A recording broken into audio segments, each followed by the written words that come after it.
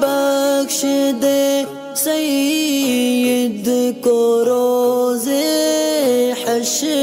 तो। एक सवाल ये है कि जैसे बकरे का पेशाब या पैखाना लग जाए या मुर्गियों का पैखाना जिसम के ऊपर लग जाए और क्या इसमें गसल करना पड़ेगा या नहीं पड़ेगा? पहला सवाल ये दूसरा कि जो लोग इस किस्म का काम करते हैं, नमाज़ वो लोग कैसे पढ़ें? क्योंकि उनका सामना हमेशा ऐसा रहता है। यानी इस तरीके के जो फार्म हाउस होते हैं, जहाँ पर मुर्गियाँ पालन या फिर ये बकरे वगैरह पाले जाते हैं, जानवर पाले जाते हैं तो वहाँ पर पेशाब या इस तरह गोबर की छीटों से बचना बहुत हद तक नामुमकिन ही होता है, क्योंकि बंदे को उनके बीच में रहना पड़ता है साफ़ सफ़ाई खाना पीना उनका ख्याल रखना और बहुत सारे सो काम होते हैं वहाँ पर तो ज़ाहिर है कि छीटें उनके कपड़ों पर आती ही रहती हैं।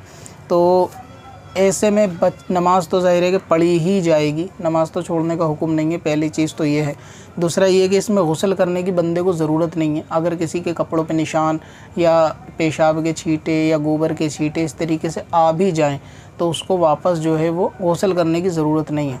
अब क्योंकि अगर वो दिरहम के मामले से अगर इसको कम भी समझा जाए, क्योंकि हलाल जानवर का तो वैसे भी पेशाब जो है वो नजासत खफीफ़ा है, लेकिन उसके अंदर बदबू होती है कि उसमें बदबू को लेकर मस्जिद में जाने वाला मामला होता है और छीटों के अगर गोबर के निशान होंगे तो ज़ाहिर है कि लोग उससे देखकर भी घिन खाएँगे। तो इसमें सबसे बेहतर तरीका ये है कि वह काम करने के कपड़ों को अलग रखा जाए या ऊपर से कोई एक चीज़ अलग से पहन ली जाए, बाँध ली जाए कि जिससे बचा जा सके, या फिर ऐसा कर लिया जाए कि अपने कपड़ों के ऊपर तहबत पहन लिया जाए। तो अगर तहमद वगैरह बाँध लेंगे तो अंदर जो है ना, शलवार, पैजामा, पैंट जो भी है वो महफूज रहेगी। तो तहमत बाँध कर काम किया जाएगा। तो इन ताला नमाज़ के वक्त में आप उस तहमत को उतार दें और पैरों को अच्छी तरह धो लें और फिर जो है ना नमाज़ पढ़ें। बाकी नहाने की ज़रूरत नहीं है। और अगर लगता है कि छीटे ऊपर की तरफ़ भी आते हैं पैरों से उड़ के, यानी जिसम के ऊपर तो फिर ऊपर भी कुछ ऐसा पहनने का इंतज़ाम करें। अगर पहनने का इंतज़ाम बिलफ़र्ज़ नहीं होता, ये मान लिया जाए कि ऐसा पहनने का कोई इंतज़ाम नहीं होता, जब पूरे कपड़ों को ढक ले। या पहनने के बाद भी आस्तीनें खुली रहती हैं, वहाँ छीट आने का अंदेशा है।